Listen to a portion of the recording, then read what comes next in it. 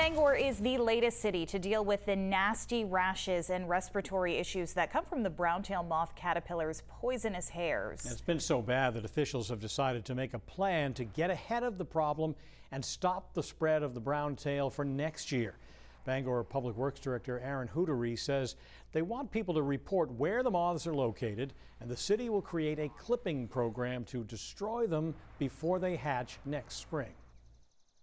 Uh, get that reported there. There's when you drop down the reason for your report, brown-tailed moth reporting is, is right there. And that would be very helpful to us because that will help us map.